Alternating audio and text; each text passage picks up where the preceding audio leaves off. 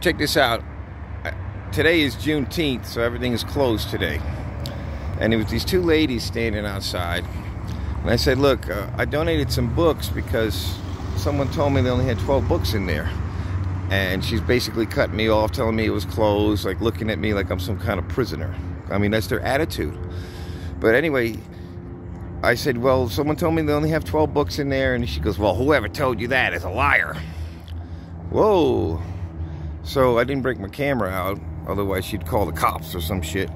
But you're talking to someone that's looking to donate maybe some basketballs or something that won't cut into the city's budget. She looked at me like I was a piece of shit. So you know what? You're done. I'm not going to give no more. Because of that one motherfucking bitch that was just here like five minutes ago in that spot. Fuck. Who are these people? You know what? Juneteenth, right? In a way, I I'm not black. I was born in Harlem. I have a lot of black friends. But I know how it feels a little bit. When I start talking in the bar, they all move away from me. The fucking the neighbor I have stares at me like I'm a nut because I talk. So what? Noisy people have fucking rights too. Just because you want to be quiet, I'm not bothering your fucking peace.